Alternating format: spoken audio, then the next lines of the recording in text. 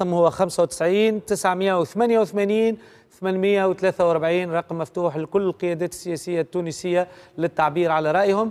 التغطية مستمرة على مدى ساعات. ستكون لنا مكالمات مباشرة مع غزة. ستكون لنا مكالمات مباشرة مع لبنان وقيادات في المقاومة اللبنانية. بقى يقولوا لي توا حاضر. عندي هاتفي هاتف هاتف محمود هنية مباشرة من غزة. سيد محمود مرحب بك.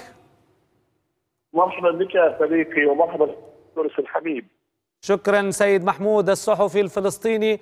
من قلب أرض الجهاد والرباط أعطينا آخر تطورات الآن وأنت تحدثنا الآن من غزة.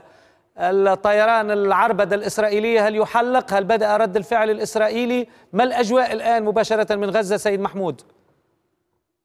أستاذنا الحبيب الآن غزة لا تزال حتى هذه اللحظة هي في معركة مستمرة المقاومة الفلسطينية. في القطاع حتى هذه اللحظة منذ فجر هذه هذا اليوم هي ما زالت تدك مستوطنات الغلاف وما زال المقاومون حتى هذه اللحظة يسيطرون على قرابة 22 موقع عسكري في مغتصبات القطاع أي بعمق تقريبا 50 كيلو متر وفق ما تحدث به الإعلام العبري. عندما يتحدث الإعلام العبري عن قرابة 130 قتيل إسرائيلي هذا الذي أفصحوا عنه من الأرقام المعلومة. هم يتحدثون عن مدينة أشفاح أو عن مدن أشفاح عفوا في المنطقة الجنوبية. يتحدثون عن عشرات المفقودين والمخطوفين. التقديرات التقديرات السياسية الصهيونيه تتحدث عن قرابة 100 أسير إلى هذه اللحظة. هم بالطبع من بينهم جنود وهم حتى هذه اللحظه في يد كتائب القسام المقاومة الفلسطينية. أستاذ محمود أستاذ محمود اسمح لي. يعني أكيد ال 100 100 أسير الآن منتشرين وأنت تحدثنا من غزة.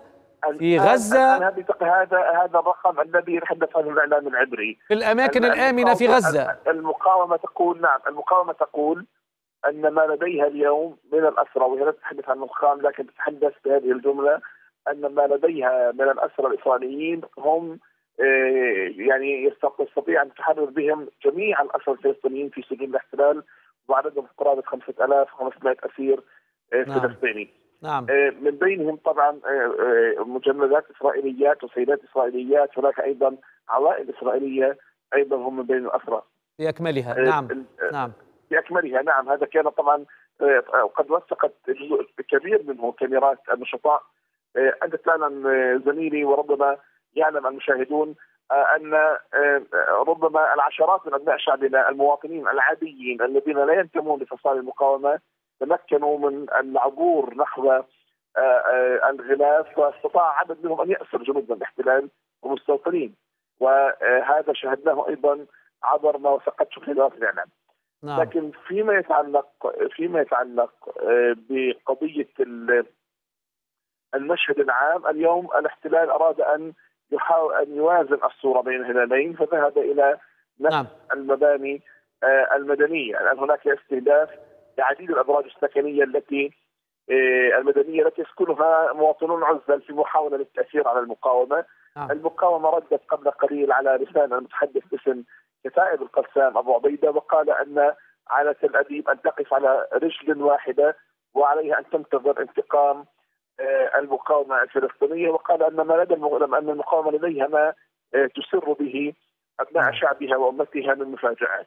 نعم. الآن استطيع أن أقول أنا أيضا أنا مقاومة تتحدث عن عن قراءة مسبقة لتقديراتها في سيناريوهات الرد الاسرائيلي وهي تقول إنه تناجد احتلال في هذا الرد وفي هذا العدوان هو يفتح جبهات أخرى. هذا الذي ربما اليوم دفع بايدن قبل قليل الرئيس الأمريكي وقال وجه تحذير لأي طرف أن يشارك غزة وقال انه سيتدخل بشكل مباشر في حال تدخل أي طرف إلى جانب غزة.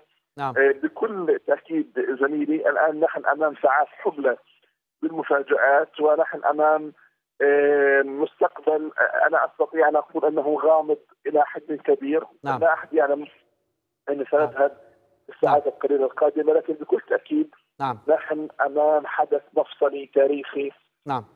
أكيد. الأمة العربية والإسلامية. أكيد أكيد. من تونس هنا إلى غزة.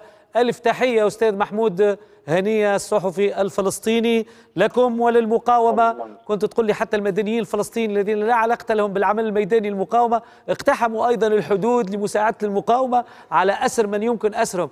أستاذ محمود يقول لنا الآن أن العدد المأسورين من المستوطنين ومن جنود الاحتلال ما يكفي لإفراغ كل السجون الإسرائيلية في حال تبادل الأسرى من كل المعتقلين اللي عددهم يفوت 5000 هذا نعم خواتم نعم.